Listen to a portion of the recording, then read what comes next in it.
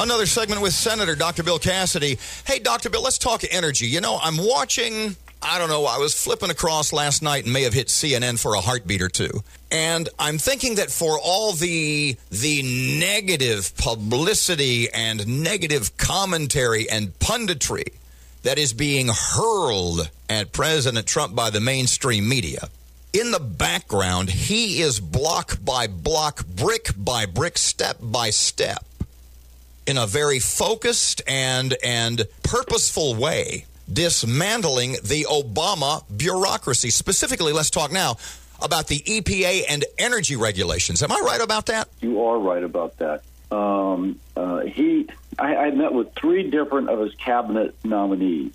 Each of those cabinet nominees told me that Trump had said he wants creating American jobs to be his highest priority.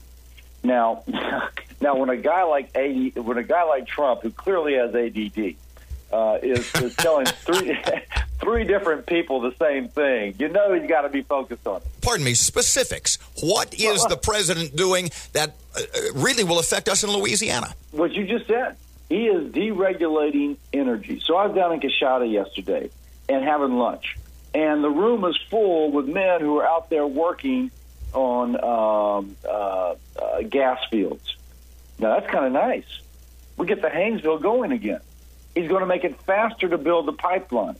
Uh, for example, there was something in North Dakota that that that didn't touch an Indian reservation, but the folks who opposed pipelines had Indian uh, Native Americans out there because they they know that people are sympathetic to them. As it turns out, it didn't touch the reservation; it ran alongside it. Uh, and and the Obama administration wouldn't approve the pipeline. Boom, uh, boom. There goes uh, Trump. He approves the pipeline. Similarly, he's approved the Trans Canada pipeline.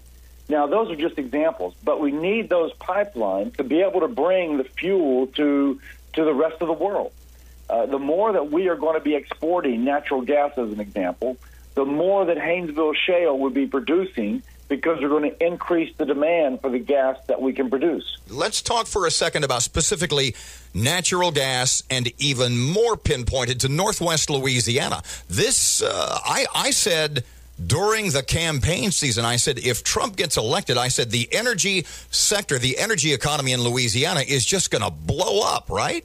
Yeah, totally. I have an editorial that we've got published that says that if Trump is successful in returning manufacturing to the United States, and we're burning our natural gas instead of shipping our manufacturing to China where they burn coal, that that Trump will do more for improving the greenhouse gas emissions in the world than did Obama. He will have a better environmental record than Obama. Now, I said that in the town hall. I was getting, you know, a bunch of folks who didn't like me. They just went berserk. but the point is, that natural gas is so much more clean burning. So if we start shipping Haynesville shale gas to, to, to Germany, and and they start using our gas instead of either their coal or Russian natural gas, we're going to one increase the number of jobs in Louisiana.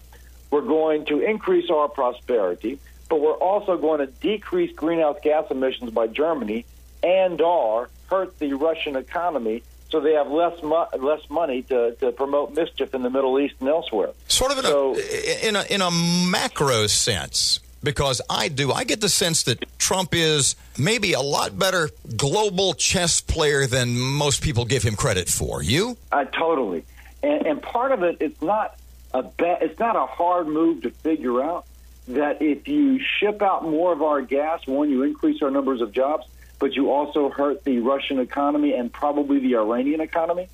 Um, it's not hard to figure out, except Trump, except Obama didn't want to go there. Uh, he wants to leave it in the ground. Trump's like, you got to be kidding. Uh, we're going to produce gas in a more environmentally friendly way. We're going to create American jobs, and we're going to advance our geopolitical position. It wasn't a hard, a hard thing to figure out, but give Trump credit for pulling the trigger.